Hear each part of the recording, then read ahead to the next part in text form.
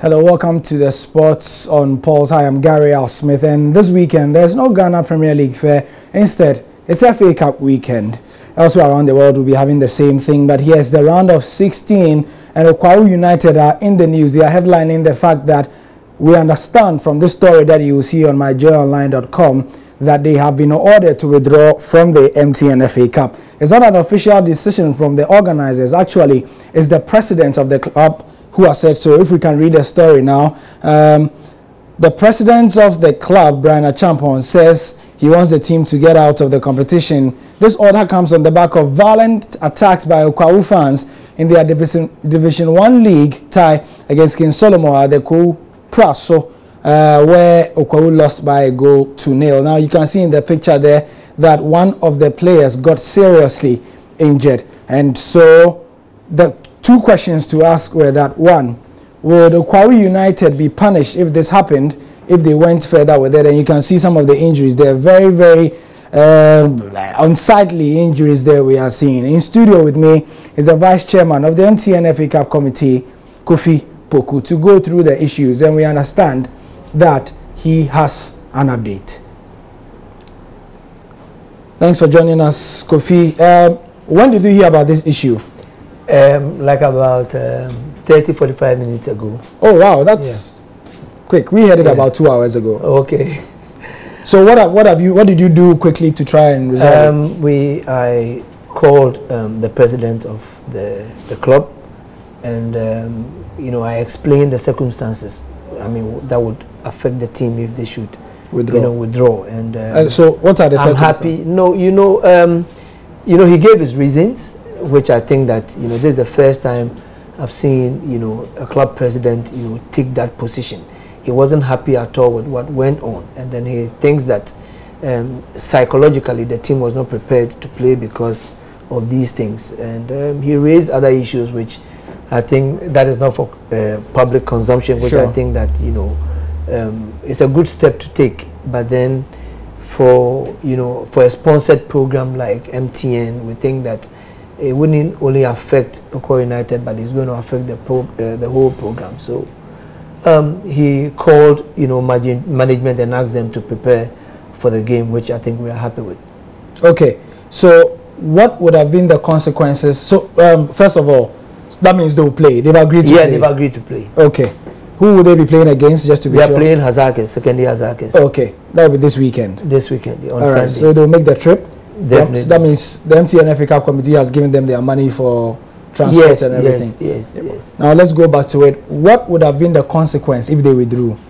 Well, that the regulations. yeah, yeah, per the regulations, you know, um, they will just have to suffer the punishment.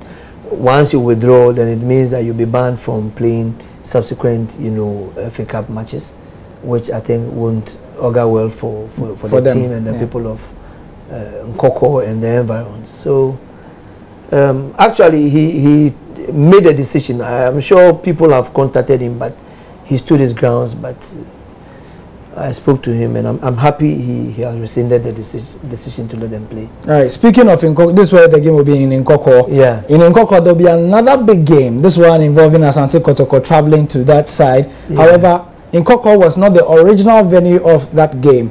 Kotoko were supposed to be playing in in So Yeah. Yes. Tell us about the whole circumstances involving the team involved. In um, um, thank you. Um, they were supposed to have played the match at Mpraeso, like you rightly said. That's a Star FC. Yeah. No, Storm FC. Storm FC. Storm Academy. Yeah. Now, um, it's not an approved venue for the Premiership and then the Division One league.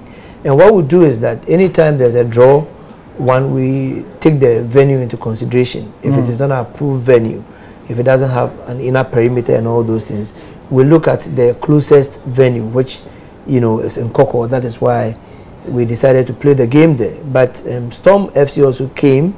They wrote to the FA that they wanted to play the match in Kumasi, uh, which reasons Baba Yara. Babaya. And their reasons were that they wanted to beat Kotoko at their background, I mean, which their home, their home ground, which I don't think that it, I mean, that is enough to convince us to take the match there. So we decided to play the match in, in Nkawkaw. There was the argument that they, they wanted a windfall. They wanted to make enough money. Um, actually, it wasn't that alone.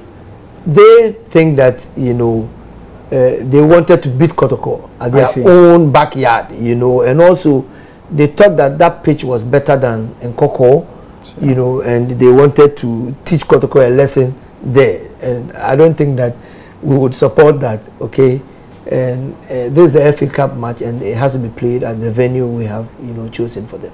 Okay, so let's go through the fixtures now, and the vice chairman is going to talk about certain pertinent issues. Don't forget that it's the round of 16 of the MTN FA Cup. There we are. Storm Academy in Praeso. Um, it's just behind you. Yes, versus Asante Kotoko. That's a big one. Wa All Stars versus Mighty Royals. And RTU, uh, it's been a while since we heard from them versus yes, yes. United. Yes. Yes. Now, these two games, I'm sure it's in progress now. Uh, Accra Deportivo and then Wild Rockets.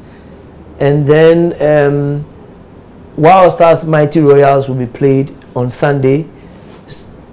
Storm Academy, Storm Academy, and then um, Kotoko. That is tomorrow. Yeah. At the uh, Nkawkaw Park. Yeah. Uh, this is a game that I think that will be full of surprises. Mm. Looking at the team, I've seen them play before, and they are a compact team. Elmina Sharks True Democracy. Um, this is the team that I also think that they can bring surprises. I've seen them, Sharks being Park Wesyndom's team. Yes, and then True Democracy. This is a team that travels with its fans. I see. Yes, they, they went to a Sipon with, I think, four buses and about 12 saloon cars mm. from Tema.